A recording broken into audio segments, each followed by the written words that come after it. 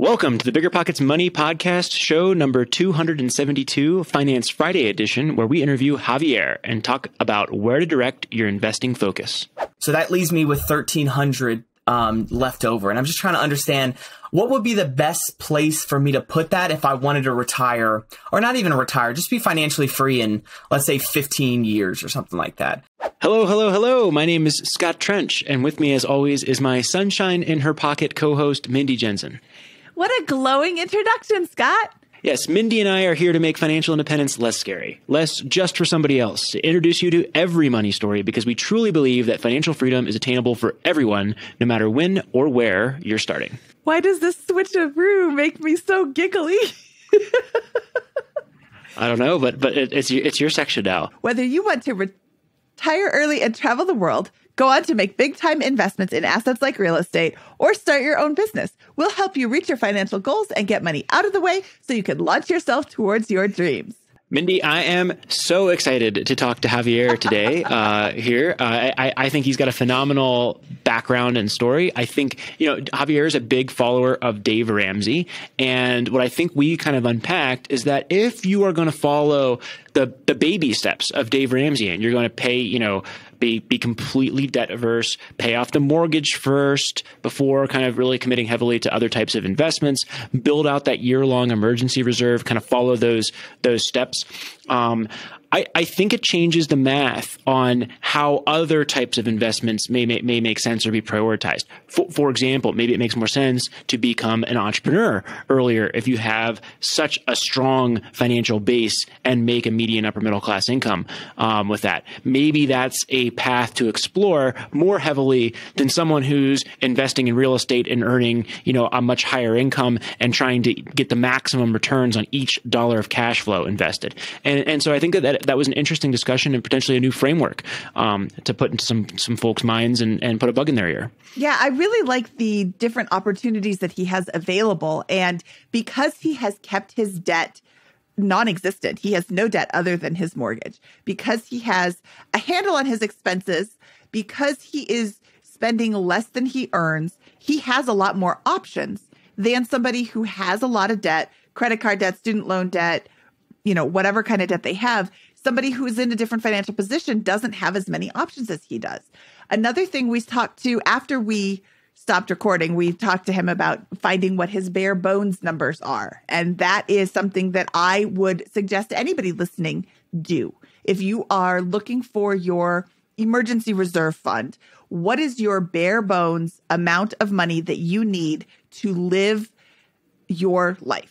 Your mortgage, your utilities, your food budget, how like if you're cutting out restaurants, you'll need a little bit more in groceries, but not as much as if you were going to restaurants as well. There's a whole lot of things involved in this, but finding out what your bare bones mark bare bones budget needs to be is really enlightening for all the opportunities that it opens up once you know your numbers. Yep, a- absolutely. Um, I, I, think that that's critical into figuring out how much emergency reserve you really need um, and being really comfortable with that. And, and there's a huge psychological impact to that in terms of your tolerance for, for risk and those types of things. Yeah. All right, Mindy, before we bring in Javier, our attorney makes me say the contents of this podcast are informational in nature and are not legal or tax advice. And neither Mindy nor I nor Bigger Pockets is engaged in the provision of legal, tax, or any other advice.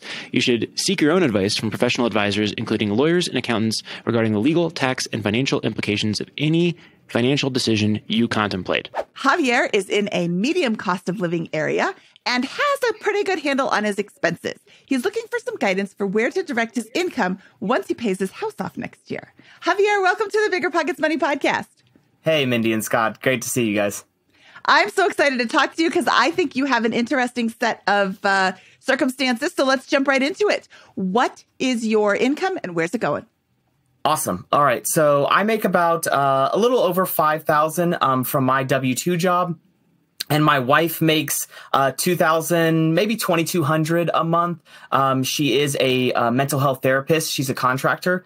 Um, so that is her job. I also do real estate on the side as well. I didn't include that because it's very variable. I mean last year was awesome for me but um, it depends on you know, how busy my job is. Last year being 2021 yeah i'm gonna say yeah we're yeah. almost done so Um, and then where is it going? So um, mortgage, I have it at uh, seventeen thirty. Uh, charity, um, so we do tithes uh, for our church, so it's about a thousand dollars. And then for taxes, we have six seventy five for taxes. Um, daycare, we have five hundred. Hold on, let's let's talk about those taxes because six seventy five is a lot in taxes. What kind of taxes are these?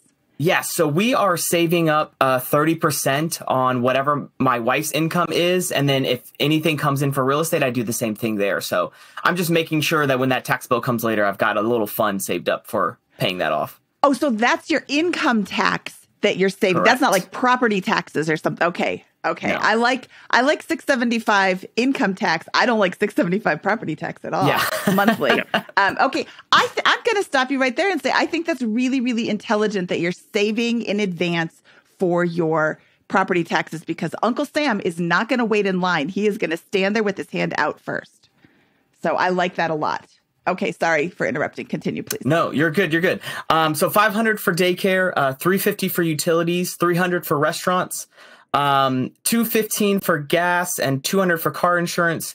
Uh, we got 200 for fund money, so that's an account that my wife has that I can't say anything about, um, so she can spend it on whatever she wants. Um, I've got 150 for the dock and 150 for television and internet, and a thousand for groceries. And then we've got some like um, things we prepare for. So 500 for gifts. I mean, not, excuse me, 50 for gifts and 50 for vacation. So usually that's for Christmas or if we do a, a year uh, trip, that'll be the funds that we use. Um, 50 for clothing, 50 for phone, um, 50 per, for personal care, things like haircuts and things like that. Uh, 20 for work expense and 25 for gym. So I make about 7,200 um, coming in, and then expenses are about 6,800. So we usually have about 400 left over, plus some of these accounts we don't use everything up, um, so that can roll over into that savings as well. Um, what, where's your net worth? Where's that going? Where's where's the cash going, and what, what have you built? Yes, so um, we have our house at 400k right now, and we owe 65k on that, um, and so um, that's at a 3.75 percent uh, for our mortgage. I've got 160K in a 401k, which I just rolled over into an IRA. Um, so I'm kind of starting fresh at my new job with a new 401k. Um, I've got 23K in emergency fund and then 17K in an aftermarket brokerage account. So net worth, I think, is around like 530, 540 area. Awesome. When you say that you're paying 1730 in mortgage um, on that one, uh, what is that? Where's that going? Is that is that is that a lot of excess payment going towards that mortgage? No, that so we put it on a 15 year loan, so that's everything: principal, interest, taxes, insurance. Okay, awesome. Um, and you have 65,000 left. How much was the original balance on that mortgage? Uh, 180. And how much? Okay, so you've paid uh, oh, oh, 120, 115 uh, of that uh, uh, of that balance so far. Um, and, and how long has that? Have you had that mortgage? Um, this will be in March. Will be our third year. Um, so Javier, I'm, I'm, I'm noticing a. It looks like you're intentionally paying off this mortgage very quickly, and something that stands out to me about your financial position is that you you just said, "Hey, we're bringing in seventy two hundred a month, and then we're spending 6800 which leaves us a $400 surplus. Yet we've got $100000 in mortgage pay down and a $500000 net worth. So it tells me that i'm either getting a really conservative uh, understanding your your financial position from you or there's some some other factors at play here with that. So i got a two part question. Why why are you putting down the mortgage? And then is there anything else that i'm missing about your overall financial position um, that, I, that i should understand um, yeah. So answer to question number one is I'm very risk adverse.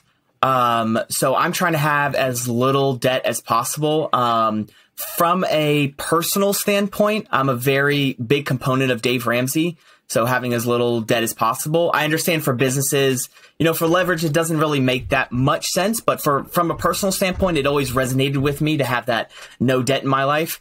Um, and for the second part, for for me to be able to pay down as much as I have, um, I am a part time real estate agent. So any funds that I get from being a real estate agent go straight into paying down the house. Once I again, I also do the thirty percent um, it's actually 40% total because I do 10% for tithes for church, 30% for taxes, and then any remaining goes straight to paying off the mortgage. Wonderful. So, so how much, what is the level of income that you achieved from your real estate activities in 2021? So gross um, in 2021 was 60,000. Okay, so so we're having essentially another income coming in that you're just saying, "Hey, my financial picture, I'm not planning on that, but every time I do get those dollars and they're very real and very large, I'm play I'm plowing that into the mortgage." I will say though, um, the year before that in 2020, it was only 5,000. Um, so that is why I'm not banking on it. It just was I don't know, COVID year was a really good year for real estate.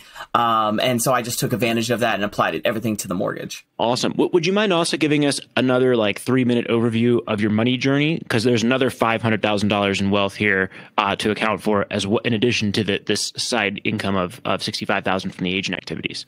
Gotcha. Okay. So I come from um, first generation and second generation immigrant parents.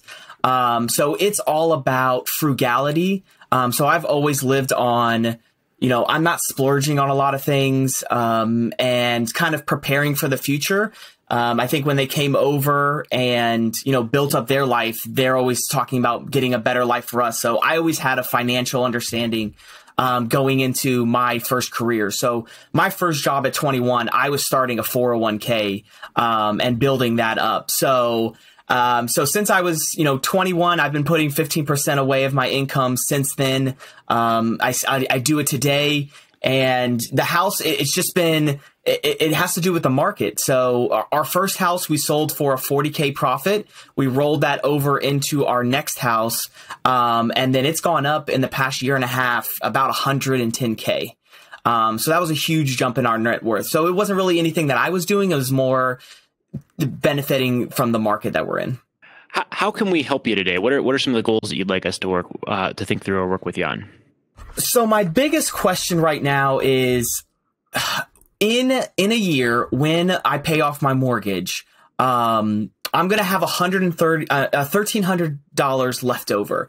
So I'm going to be saving 500 for escrow, so for property taxes and insurance.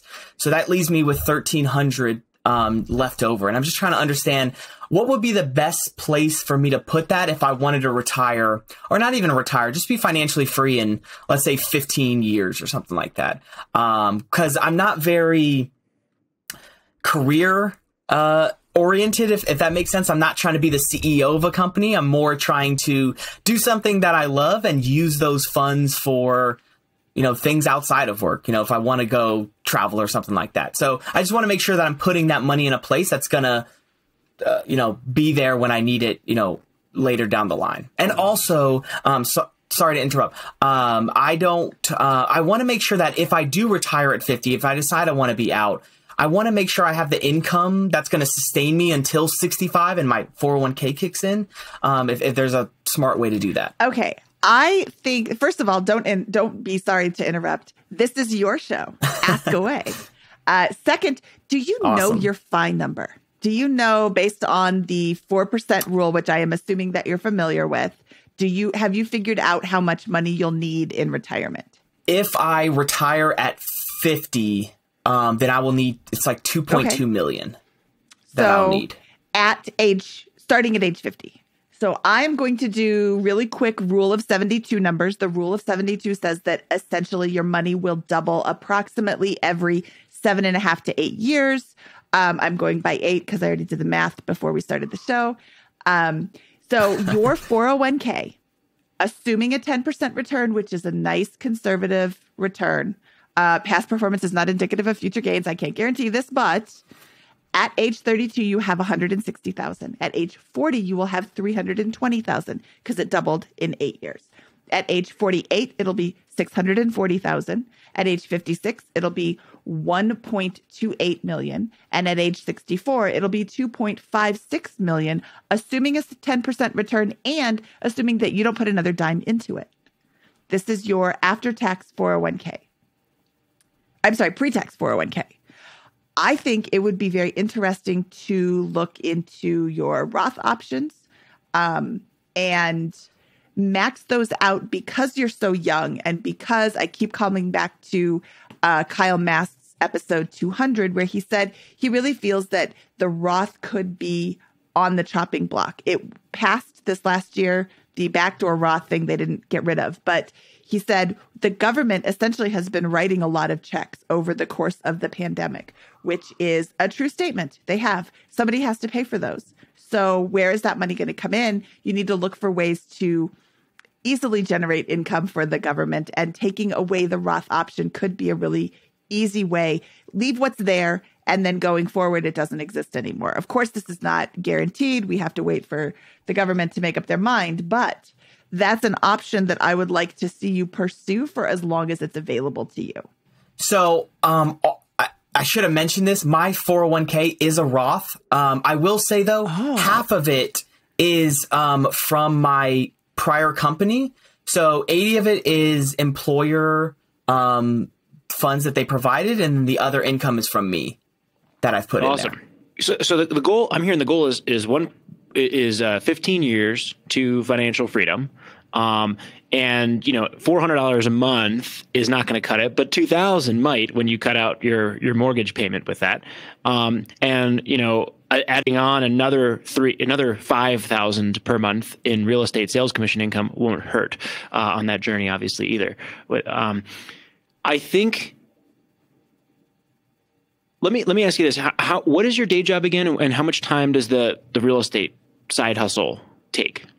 Um, so my day job right now is I'm a learning and development manager. Uh, so I work on training our employees and filling any gaps they have in, in knowledge with content that we can create. Um, so real estate, it really depends on who I'm working with. So right now I work with two investors, um, and they are um, able to kind of keep that deal flow going because I'm I'm on the buy side I'm on the sell side with them, and so they're kind of my main providers as far as um, income with my real estate. So it honestly depends on how they're doing, and they've been doing really good this past year. Um, so I'm kind of hoping that trend happens. And then anytime I get like a retail deal within there, um, then that you know that's just an extra bonus option there. So I'm hoping I can have a repeat year, but I, I just don't want to bank on that happening every year. And I also want to observe that you have twenty three thousand in emergency reserve, which is how many months of spending for you?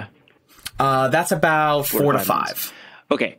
Um, I, I think that there's an investing approach, but there's also uh, another another angle to think through here in your in your finance journey, which is you you have a very risk averse um, situation in terms of you're paying off all your debt and you have a nice emergency reserve and you've got a, a very strong financial foundation with all of this that to me suggests that you're in really good shape for an entrepreneurial venture of some sort at some point in time because you do have um, one spouse providing income and emergency reserve and this side hustle that seems to be picking up with that. And so that would be one of the, the bugs i'd want to put in your ear before we talk about the investing um, side of things is i think that opportunity in the real estate world is probably not consuming anywhere close to full time effort for you, and you're earning much greater dollar per hour. A, a much greater, much higher dollar per hour um, on your time doing that activity than it sounds like you are from your full time job um, with that, and that that it will it has almost surpassed your income um, and it may dramatically uh, it may be able to dramatically surpass your current income within a couple of years by paying off the mortgage and having a really strong emergency reserve in classic Dave Ramsey fashion. That may set you up to go after this opportunity. Um, and, and, funding that may be much higher ROI than beginning to to more aggressively purpose the repurpose those dollars for you know index fund investments or something like that. What's what's your reaction to that thought? So, um, two two reactions to that. Uh, one, I actually do own um, a brokerage company with a partner. The reason I didn't include it is because we're not profitable. Um, we're pretty much break even at this point. We're trying to get more agents under us so that we can start to turn to that um, to that black number. Um, so I do have that brokerage. It's not growing um, at the rate that we wanted. Um, and so I, I, I, that's why I didn't count it. So that is my um, opportunity to be an entrepreneur. But my other thing is being risk adverse. My biggest fear right now is healthcare insurance. So being out there on my own as a contractor or, you know, not having that employer medical benefit. I mean, seeing the, the cost that it, that it is to be on your own is a little daunting.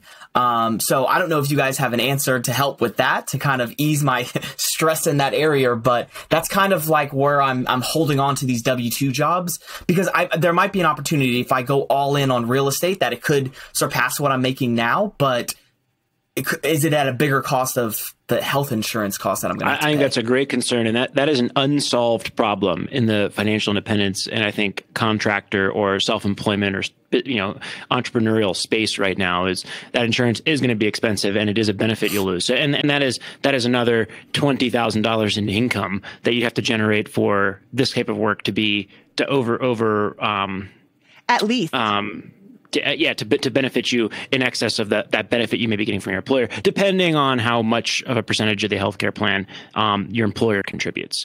Um, so I think it's a great call out, um, but it's something to kind of ask yourself: is great. I need to earn another twenty thousand dollars. How many more commissions do I have to earn in order to cover that cost? Um, Mindy says one. She's in Colorado. He's he's in um, um, a suburb of Atlanta. Uh, so I don't think that that is is quite as. Uh, How much your house is there?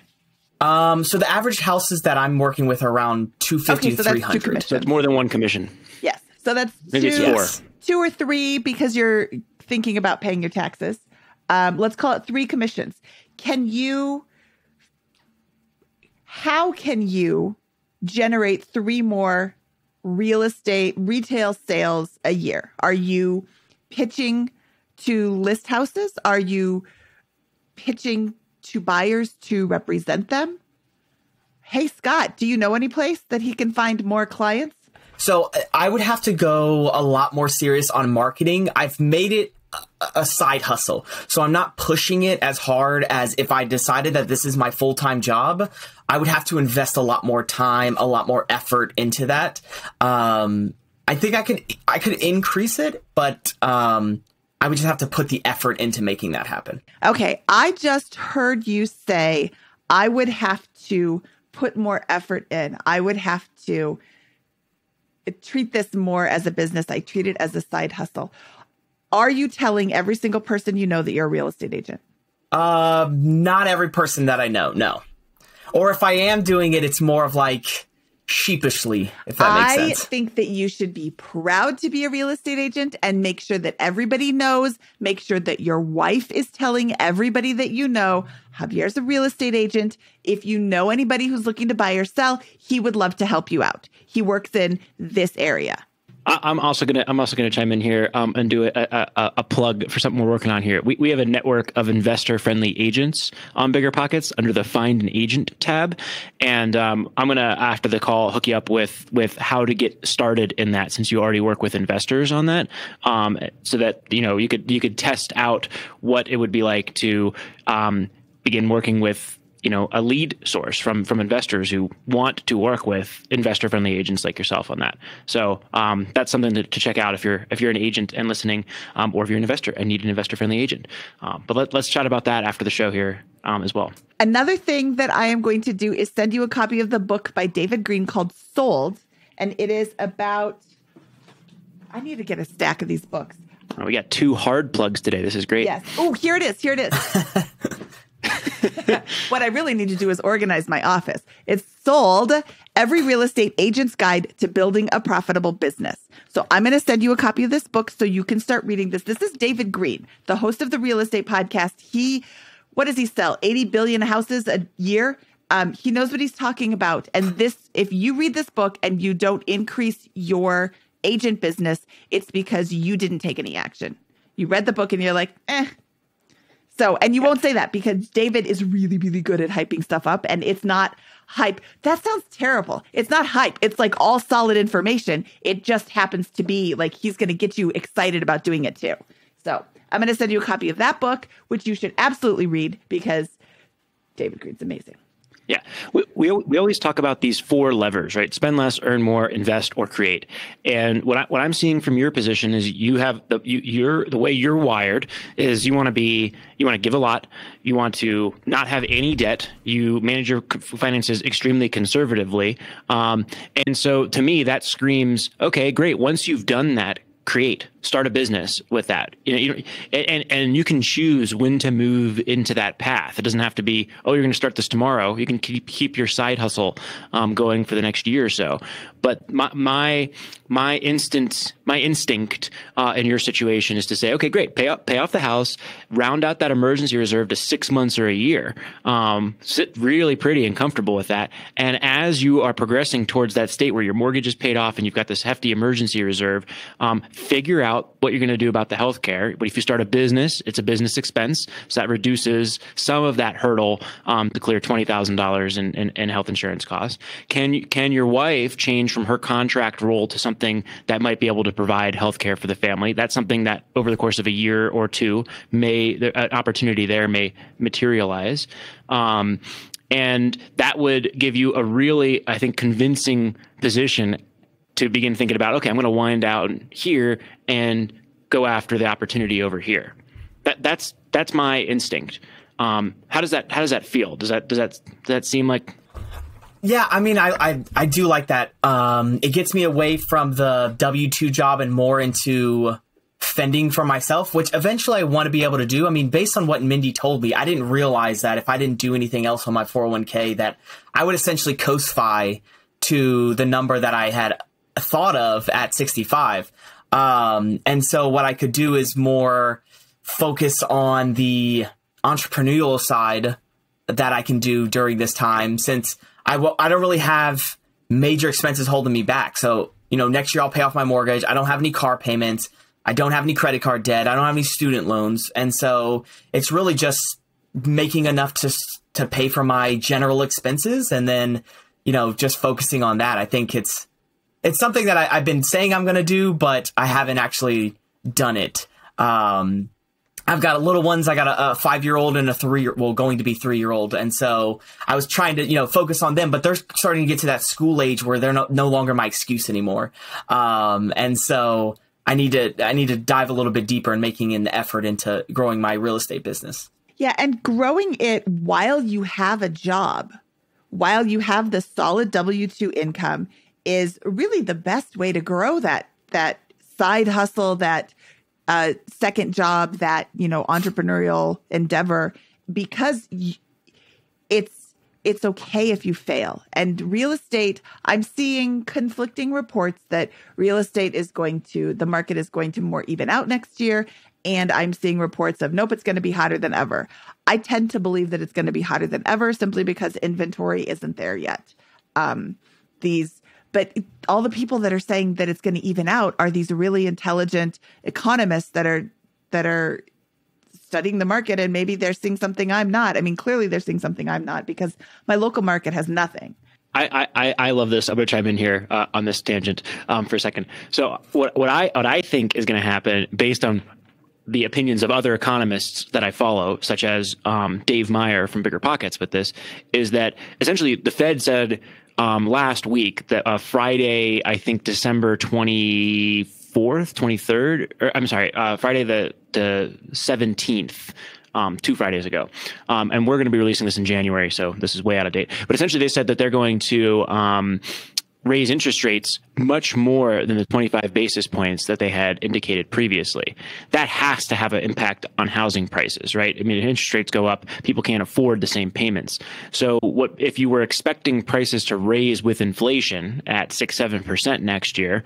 Um, you'd expect, you know, even advance of inflation, um, having a red hot market seven to ten percent appreciation. With rising interest rates, you'd expect that to come down and mat- match or be below inflation. So my bold prediction, and who knows if this is right, this is not how I'm not necessarily investing on this or changing my strategy based on this, but my bold prediction is that prices will go- grow next year, um, but not nearly as much as they did this year, and rents will rise much faster than prices, which makes cat, which will make the rent to price ratio um, uh, investing a little bit more attractive for investors than maybe it has been over the last couple of years as rates have been falling. Yeah, I could definitely see that here in the Atlanta area. Um, it used to be, let's say, 20 offers for every single house. Um, and people are still fighting. Um, so it's it's now it's let's say four or five. You know, it's it's not as is not as much. And so I, I don't see that it's going to be a buyer's market. It's still going to be a seller's market, I would say, but not to the extent that it was in 2021 or 2020. Yeah, I will say that that is true, and um, it's so it's it's evening out, but it's still way in the favor of sellers. Um, so you're not getting 20 offers. Look at it from the buy side. Okay, now I'm not competing with 20 people. I'm only competing with five people. The way that a normal real estate market works is you're competing with zero people.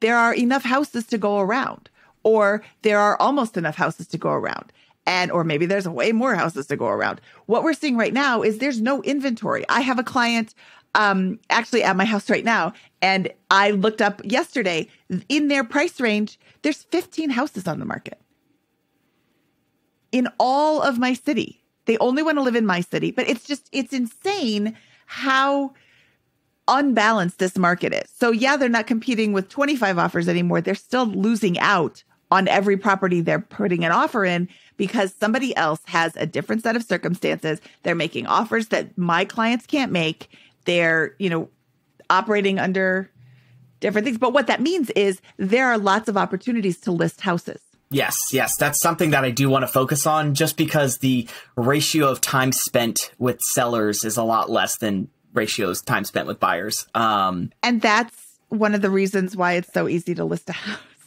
Why it's so Right, right. Okay, so I want to talk about paying down your mortgage versus maybe not paying down your mortgage right now.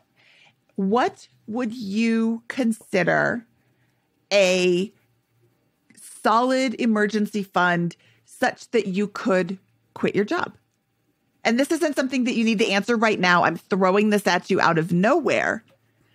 But where does your emergency fund need to be? Where does your real estate income need to be? Where does your wife's real estate or wife's uh, income need to be so that you could say, oh, now I can focus full time on real estate. So that's something that's a research opportunity that I want you to think about.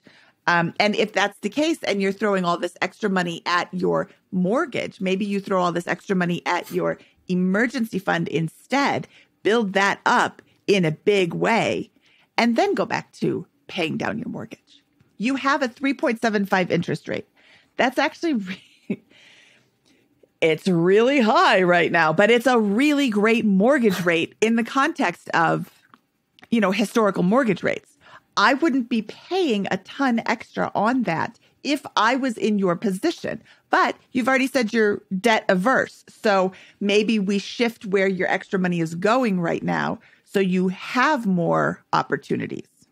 Gotcha. Yeah. And the reason that I focused on paying off my mortgage is I, I always have that what if in my mind, like what if this job goes away kind of thing, and it's a lot easier to stomach, um, you know, holding myself above water for not you know without a mortgage than it is paying that 1730 i mean i could refinance and at, at this point the, the payment would be like what $500 um and so i don't know it just personally, it just feels better to not have that hanging over my head, and I'm just paying for groceries and things like that to survive during, until I find another okay, job. That's valid. That is, you know, like I said before, I'm not going to be paying your mortgage, so it's it's your bill to pay off as you choose. Well, okay, so so I, I think that my, my instinct when I look at your your situation, and say how do you get to, to 2.2 million in 15 years? Well, the first one is let's explore this earning opportunity sounds like if you're making 60 grand part time, there's an opportunity to make much more full time with that. And if the answer is I'm not comfortable doing that right away, great. Pay off the mortgage, um, and then create a situation back into a situation one, two years from now, um, where you are comfortable with with at least exploring that that opportunity seriously. Because I think that's going to cost you. Uh, uh, that's a big opportunity for you, and um, there may be an opportunity cost for not doing that, given the way that you've described your, your financial profile. The second question I think you have after that is okay, but I'm still going to generate surplus dollars after I pay off the house. What should I do with them at that point? Do you have any ideas or, or thoughts that you want to lead us down before we, we chime in there? So um, I was just going to dump everything into an IRA. So I'd have the, the, the way that I was thinking it is I have thirteen hundred dollars a month I would put $300 into kids college fund, which I think I'm still going to do. Um, and then I could put 500 and 500, um, or 250 and 250 into, um, IRAs for both me and my wife. and then that would max us out at the 6000 or i guess we could do 500 and 500 and then that would total us out but i didn't know if it made sense to just put everything in the stock market and then bank on it in in 65 like what do we do with the 15 year gap and that's where i was kind of wondering do I only put, let's say, 500 total for me and my wife in our IRA, and then we have 500 that we're putting to, I don't know, something else, an aftermarket brokerage account, um, a REIT, something like that. I don't know. That that was my what what would make the best sense if I'm if I decide to retire at 50. What's something that can carry me the 15 years um, until the the IRAs are able to be used? When, when I think when when I hear you saying that, it sounds like you have a large number of competing things that you want to be putting cash towards right now, right? I, I have IRAs, college retirement plans. I hear the stock market. What what are the other items there? Let's list them out. Let's list out all, the, all your your wish list here of things. It, it, it's honestly, I just want to make sure that I have that 2.2 at the end, but I have something going, you know, in the 15 years that I'm not working, if that makes sense. Now, it could just be that real estate becomes my income and I don't have to worry about that, but it would just be something where it's more of a passive income coming in. And I was thinking rentals, but the more I hear, like your last conversation where um, you talked somebody out of it uh, pretty pretty quickly, and I and I I think if you had said those same things to me, I would I would back out of being a real I mean a, a, a landlord uh, pretty quickly. Um, so I don't think I would want. What, what, what was our what was our argument for the other person for for backing them out? you were saying, um, oh, they had a very high income and the work and the, the time it would take for them to learn to, to get into that market, to understand how to be a landlord, screening tenants, all of that stuff.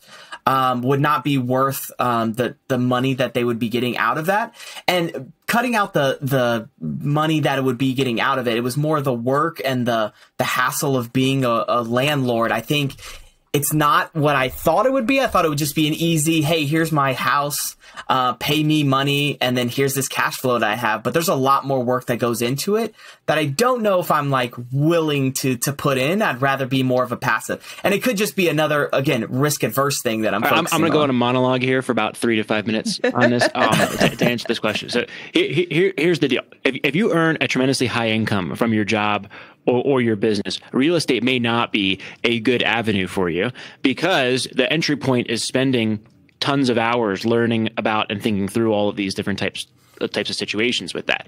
If you want to build a two to five million dollar net worth over 10 to 15 years and start in a middle, upper middle class income, real estate can be a potentially great opportunity for you.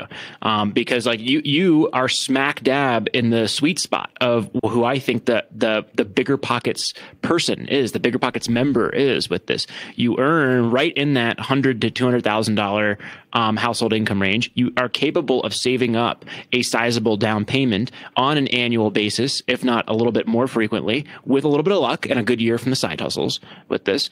Um, you are a licensed agent. You're to you can save two two to three percent of the transaction costs each time, each way um, on, on, these deals. You have to learn that market anyways uh, because you're working for investors um, with this on, on, your side hustle. Like I, I, think there are a tremendous number of advantages um, to real estate investing in your situation that make a lot of sense.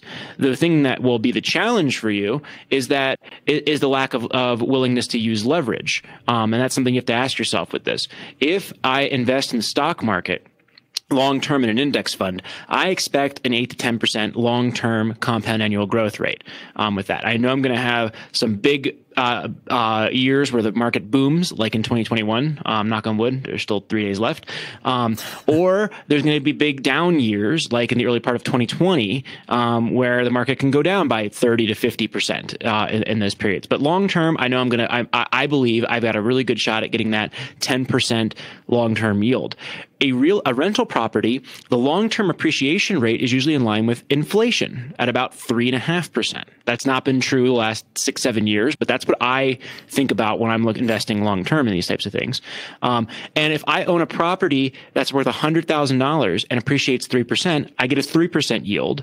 And I might get another 5% yield in cash flow on that property as well. That's an 8% return. That's actually the same or less than the stock market. So it's with leverage that I get that excess return, um, you know, by putting down, but if I take that same 100 grand instead buy five hundred thousand in real estate, a three percent appreciation rate is fifteen percent um, on my money because I'm getting that that multiplication from from leverage, and I will get more cash flow per dollar invested as well if I make a wise a wise purchase there.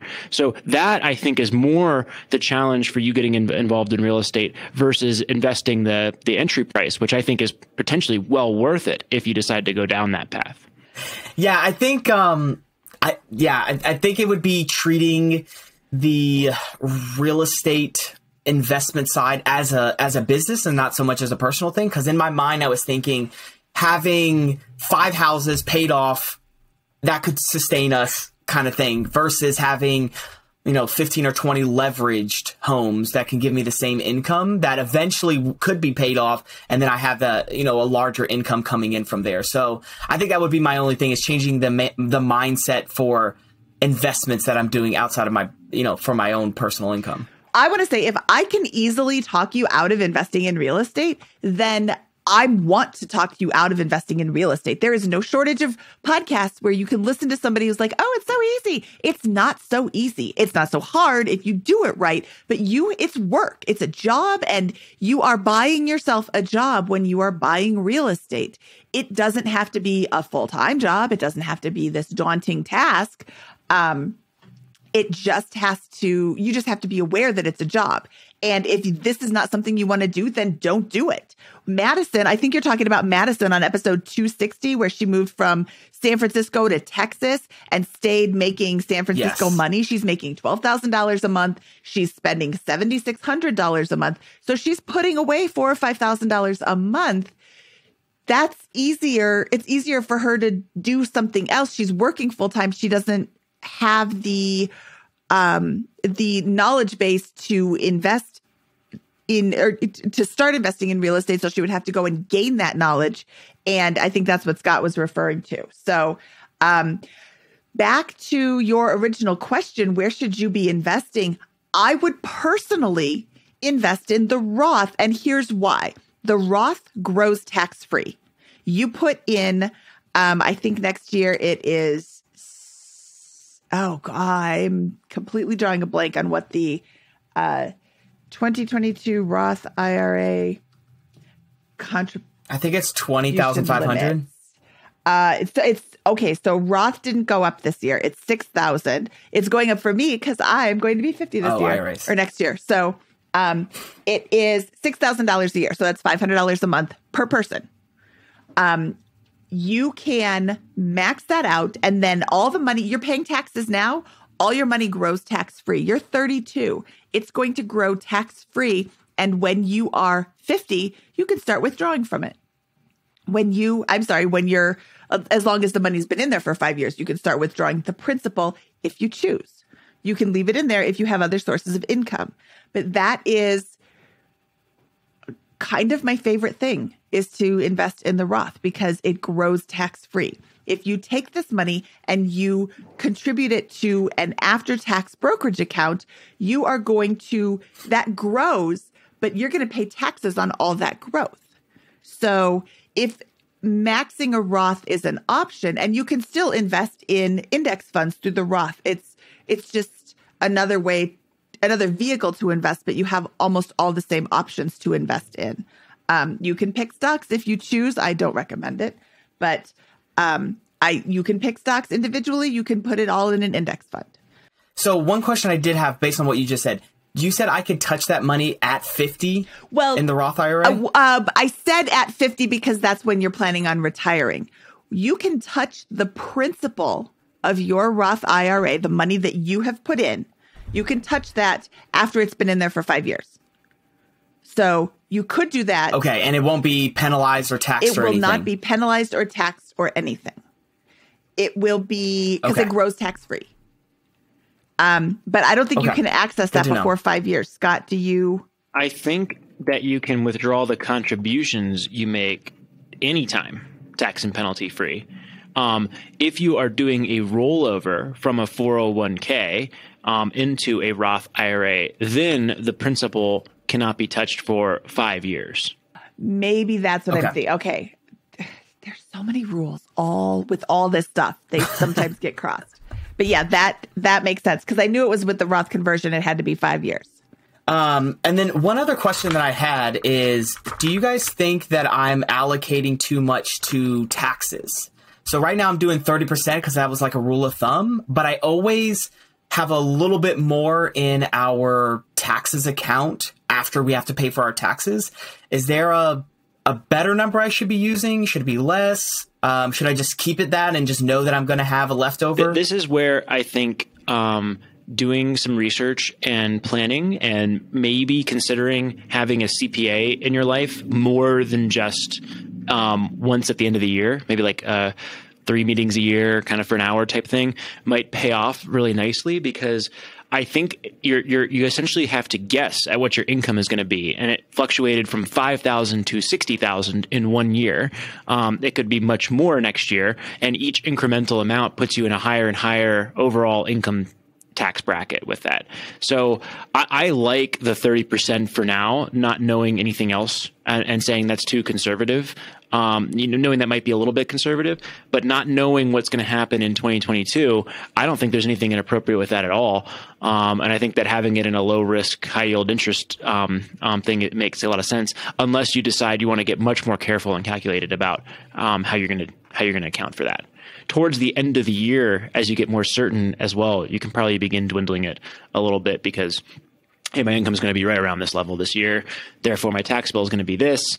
Therefore, I can pull out a little bit more out. Are you paying okay. estimated taxes or where does this 675 go? Is it just sitting in your own bank account that you control or are you paying the government? Yes, it just sits in no, it sits in a bank account until the end of the year, and then I do my taxes, and then it's just like a huge bill. Okay, and, and I would I would talk to the CPA. Sorry, Mindy, go ahead. You give you're about to give them the same point. I was about to. I, I was about to give them the same point. Talk to the CPA. See if you are you paying any fines because I think with after a certain level of income on a 1099, you need to pay quarterly estimated taxes, and this is something that I only know enough about to say go to a CPA but I want to make sure that you're not paying fines on this. And it could be that you have enough W 2 income to cover that so that you don't have to pay the quarterly taxes. But that's one of the. I've never paid any fines. Okay. Well, so. I'm glad you're you... not paying any fines. And if you're. I don't like paying more to the government and then getting a tax refund. I would much rather owe the government in April because I have the ability to pay that check. It's not a huge check. Most of my real estate commissions go into my 401k. So I, I have so. the, I have the same thing here, right? I have a book that I have written um, and receive royalties on. I have ownership in private companies and syndications um, that produce income. Um, if I'm having a year where I think I'm going to have a sizable amount of income from these side things, the contra- uh, con- contractors, or con- contracts, or royalties, or ownership interests uh, on a K one, then I try to pay those those quarterly taxes. When she's asking if you're paying a penalty, what she's what, what I think Mindy's asking is, are you are you if you're above a certain level of income, um, and I'm not exactly sure what that is. You pay a three percent interest rate um, on your at your the time you pay your tax bill at the end of the year on all this money, and you're probably earning less than that in your savings account right now. So because based again on our conversation, I don't think you're going to take that money and invest it aggressively to try to arbitrage between the 3% penalty or the interest rate that the IRS is charging you um, and your investment yield on the stock market or a real estate property. That just doesn't seem like it's your nature based on the conversation we've had so far. So I would, I think that's where a good CPA comes in and say, here's what I think my income is going to be. Um, that is not going to have federal taxes withheld, and I'm going to pay that throughout the year in installments, so I don't have to pay this three percent um, interest rate. I'm butchering that. A CPA uh, hopefully can come in and correct my terminology um, that I'm using to, to to describe this phenomenon. Okay, perfect. Yeah, I definitely need to. Um, this was my first big year with real estate, and so I think this is the only time that I've been a little wary about it. Um, prior was like, you know, 2000, 5000, and then this was just a ginormous jump for me. Um, and so I just wanted to make sure that I'm preparing properly for that. So. Yeah, so, so that that that should solve your problem too of how much am I putting aside for these um, these tax bills? Well, great.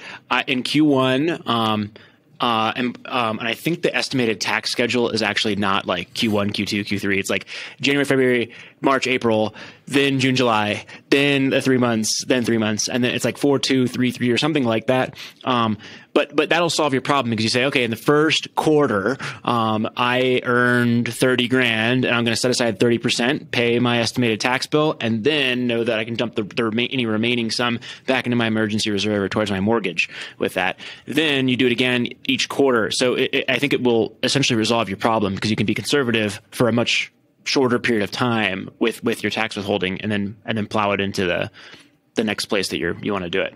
Yeah, so I just want to make sure I understand. So if I pay my mortgage off, then kind of essentially put that money into a Roth IRA based on what Mindy was telling me. And then for my real estate income, build up an emergency fund so that I could focus on maybe making that my primary job in the future. Yeah. So so he, here's here's the, the the paradox or the challenge you're going to have. Uh, again, one hour into knowing you uh, on this call today um, with this it is is because you're so conservative. It allows you to concentrate more heavily on the highest impact things in your situation, right? You don't earn $250,000 a year or some huge amount of money and can go down this gigantic list of optimal investments like HSA, Roth IRA, 401k match, you know, uh, college savings plan, um, then real estate properties and pay off the mortgage. You can't do it all with that. Um, you're doing great, but you, you can do a lot of things, but you can't do them all. So you need to come up with an ordered list of the most effective ways to allocate your cash that are in line with your values and your goal of getting to $2.2 million in 15 years, right? To me, a, a, an example of that list, I don't know if this will be the one that you end up settling on, but an example of that list would be okay, great. Every excess dollar I have is going to go towards paying off my mortgage early. When that's done, I'm going to build up a six to 12 month, or let's call it 12 month emergency reserve. That'll be $60,000 in cash, right? Um, not something that may, some other people do, but maybe that's something that makes sense in the context of this. Then I'm going to move into to real estate full time. From there, I'm going to generate surplus dollars. I'm going to plow them into my Roth IRA first. Then I'm going to make a decision about whether I want to go down this cascading tax advantaged investing strategy with HSAs, college things, or if I want to pivot and begin allocating more dollars into real estate investments with that. You won't be able to do it all. So I, I would pick, I would, I would go all in or commit heavily to one of those areas, um, in the, especially in the first few years. Um, if you end up having a problem in five years where you're able to generate three, four hundred, five hundred thousand dollars from your real estate business, then of course you can do it all, um, and that'll be that'll be wonderful. But I, I, I think that that's that's where I would I would start. I think that those two or three make a lot of sense to me at first, and then from there you have a choice about where you want to allocate, um, whether you want to go down this route of funding kids' education plans or real estate. And, and, for what it's worth, personally, I don't have kids, but I think that what I'm likely to do, um, pending further discussion with my wife and, and all this other, but I, I, think I think what I'll probably do is is simply buy real estate um, to fund their educations and those types of plans because I believe that building the greatest net worth, the best risk adjusted investing strategy to build long term net worth without going zero or eroding the, the principal there, um, is the best way to fund things like college education or opportunities for future kids rather than locking it into like a 529 plan, um, which has one use and it may be the most advantage, advantageous way to save for college expenses, but they may not go to college. They may go to a state school. They may get a scholarship. There may be all these other things that, that happen with that and having it flexibly in real estate to me makes more sense, but that's a decision you're going to have to kind of think through. And I, I don't think there's a right answer to that one. I have two kids and my oldest is 14. She's a freshman in high school. And I have, boy, send these messages to Scott at biggerpockets.com. But I have zero dollars allocated towards her college fund. And that doesn't mean that I have zero dollars available for her, but I have put nothing into a 529 plan because they can be so limiting. They can, and I have a way to pay for it. And I also never got around to it. And wow, again, send those all those messages to Scott at biggerpockets.com, not me about how bad that is. Um, but I have the ability to pay for her college. I also want her to have some skin in the game. I want her to work hard in college if she chooses to go. And right now she wants to be an occupational therapist. If she chooses to go to college, I want her to work hard. I want her to feel like she needs to get some scholarships in high school. I want her to have some ownership of this. I feel like I wasted my college studying fashion design um, because I don't do anything with it. So I, it would have been a better use of my parents' money to go someplace else and study something a little more. Uh, Here's a, a um, one from Brandon Turner that I think is just awesome and probably what I'm going to do, uh, or, or, or a similar concept to what I think I might do with this is you, you buy a, a, a, duplex, triplex, or quadplex. You put down sixty thousand dollars. Let's call it two hundred forty thousand, three hundred thousand, something that's right in the ballpark of what you do on a daily basis for these investors. You put it on a fifteen year note. Um, your kids in fifteen years are about to go to college. Your note is almost entirely paid down um, if you've found a way, and you know, and, and, and you have to buy a good deal that allows you to cover that cash flow, or um, supplement it a little bit with your with your income if you want to if you want to um, uh, apply, uh, apply this strategy. Um, by the end of that, your loan is almost or entirely paid down, and then you cash out refinance the property pay down the college and put it on a 30 year note. Um, and then do it again and now you've got the, the kid's college education paid for. That's an overly simple way to, to think about the, the, the, the strategy. There's tax reasons why you might not hold on to the property for 45 years. Um, but there's but but that's a really good framework i think for thinking about it that it doesn't have to come from um, the, the 529 plan necessarily that makes sense. And we don't actually have a 529. We have a non-retirement mutual fund. I think that's what my uh, um, C- not CPA, but my uh, financial planner called it. So if they decided not to go to college, they can use that funds for things outside of college. But it was more of just having something there for them that they can have, whether if they wanted to start their own business or they wanted to go a different route, it didn't have to be school. Um, but I like that strategy of the, of buying the house because it's something that not only will could cash flow me, it could be $100, $200, but it's still making money for me while it's also giving them an opportunity to, like you said, refinance it and have that money at the end when they're ready to, uh, to graduate. Well, great. So, yeah, I'm so looking I, up. I, but I, I think that's the big challenge is you can't, I, I was a little alarmed by, Hey, I want to do all these different things with my investing. I think that's going to get you a whole lot of, of mediocre to poor returns by trying to, trying to go too far down that list with your current situation.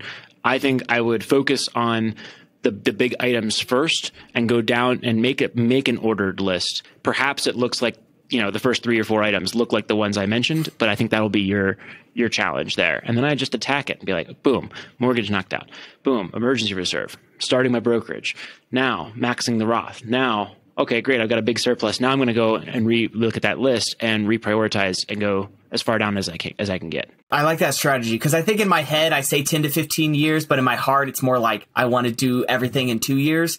Um, and so I think that's that that gives me like a realistic hey you can't do everything so based on my personal finance strategy I think that's a great way to to think about it so yeah. and, and I think you. I just think that by far the highest return um, to me right now from your position is starting your own brokerage um, with this. If you're earning sixty grand on the side right now, um, I cannot. I can only imagine how much you'll earn uh, full time with that, and so um, that just seems like that seems like a big opportunity. Okay, yeah, I think I need to. Um, I think I'll have a little bit more um, a, a, lighter heart when it comes to these things because if I do pay off this mortgage, I feel like that's that looming thing over my head right now where it'll allow me to breathe easier knowing that if I do slip up or I do make a mistake or something like that, I don't have that huge payment that I have to cover.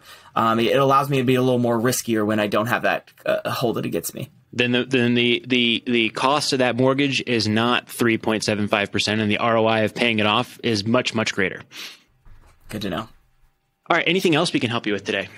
Um no, I think that was it. Um you guys gave me a good line that I should be following instead of trying to grab everything um, at the same time. So I think I'm going to be setting that up, talking with the wife to make sure that we are aligned on that and I think intent, I think Mindy gave me a great perspective uh, to say that hey, if I don't invest anything and you know whatever the the market does what we think it possibly perchance could do, um, that I could be set with my goal by the time I'm 65. So it's just more of how do I get there a little bit faster? Awesome. Well, I, I think this a really fun discussion. You had a lot of um, fun challenges and nuances for us. So thank you for the um, unique situation that you brought and, and for the great discussion today. We really enjoyed it.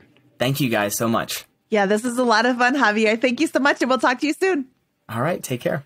All right. That was Javier. Mindy, what did you think? I love the opportunities that he has opened to him based on his the financial choices that he has made that have kind of been ingrained in him since he was born. He said that he was a frugal person because he is first and second generation um, immigrant, and his parents kind of pushed home the value of frugality. And he's, I don't know that spending $6,800 a month is necessarily frugal, but he certainly could be spending a whole lot more according to, you know, just normal American consumption. So he's definitely conscious of his numbers, which I think is one of the most important uh, tools that he has in his tool belt. Just being aware of where his money is going and how much of his money is going there every week, every month. Yeah, and, and, what I think is really important to call out here is is Javier is one very frugal and or more frugal than his numbers might appear at the highest level, and two um, that he's very risk averse with that, and and paradoxically, be someone who's very risk averse actually has an opportunity to take on more risk and may get to financial freedom faster. If, for example, he is able to go and take on that, um, uh, start that real estate brokerage or make that a full time endeavor with him. One of the things that Mindy called out in the intro, and again, we discussed with Javier after the recording, was the concept of figuring out your bare bones expenses with that. And that's really important here because Javier is, again, psychologically very risk averse. He needs to pay off his mortgage and he wants to build probably a, a one year, I'd imagine, emergency reserve prior to starting his business. But note that two components of his of his expenses are huge. One is his mortgage payment at 1730, and remember that's on a 15 year note at a 3.75 interest rate, which is a relatively high interest rate and obviously a faster amortization period. So he's that that will get eliminated you know, uh, uh essentially eliminated to just taxes and insurance um, once the that once the um, the balance is paid off there. And two, he gives away 10% of his income or more than 10% of his income, $1,000 uh, a month, he said, to his church. Um, and if his income were to evaporate and his mortgage were to be paid off, he would no longer have either of those two large expenses, reducing his, um, monthly spending by nearly two thousand, two and a half thousand dollars if you're planning on a year long emergency reserve, that's 30 grand. So not only is there a lot of money, um, that will he be bringing in more money from his, um, monthly from from his monthly cash flow, excluding his agent sales, his, his side hustle, um, once he pays down the mortgage. But he also has a bare bones budget that I think is much lower than what he, he, described there. And so again, that's important because that's the next pivot point in his journey. He has a decision to make once he once he gets to that point about whether he wants to pursue this full time or take on a more aggressive aggressive investing strategy or something else. Yeah, I like that he has time to figure this out. He doesn't, he said, he said, I want to do this. I say 15 years, but I want to do it in two. He's got a lot of time to figure out where he wants to go before he actually has to make the decision. He's, he wants to save up more for his emergency fund. So as he's doing that, he can weigh these different options. Ooh, if I did this, then that would happen. If I did that, then this would happen. So I love that he's got a little bit of time to pursue this, but he's starting off from such a great position. And this is where I really agree with Dave Ramsey up to baby step number three is get rid of all of your consumer debt. Having these debts, having these obligations that you have to pay, even if it's just the minimum amount, that's money that you really can't choose to spend someplace else. Javier chooses to spend money in different places because he doesn't have this debt looming over him. He doesn't have a credit card payment. He doesn't have a car payment. He doesn't have a student loan payment. He just has his mortgage. So he can choose to pay extra to his mortgage or he can choose not to. But spending less than you earn, earning more income, you know, these four levers that we talk about all the time, uh, spending less than you earn, earn more income, um, entrepreneurship and investing wisely. He's like we should throw in a fifth one is pay off your debt.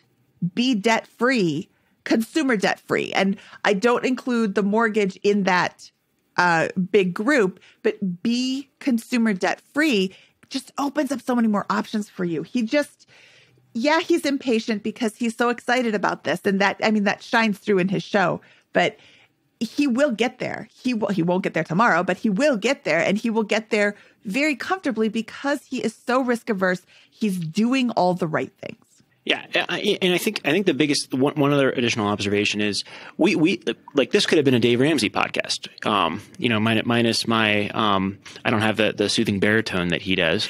Um, neither do you, unfortunately, Mindy. Um, with that, but you know, I think I think that uh, we, we like if you're going to follow Dave Ramsey's baby steps, follow them and take the advantages that come from that strategy, right? There's trade offs with it, right? You're not going to be able to arbitrage low interest debt rate, um, for higher, for higher yield investment opportunities like the stock market over time with that. That's a cost, but you are going to have a very low fixed amount of of annual spend because you're going to have a paid off house, no consumer debt, control over all those expenses. Use that to your advantage in a business venture or something that has the potential to generate really high returns uh, uh, once once once that's achieved. Right? I mean, that's that's the power of his plan, and I think that it's it's worth acknowledging that um, in the context of the discussion we had with Javier today.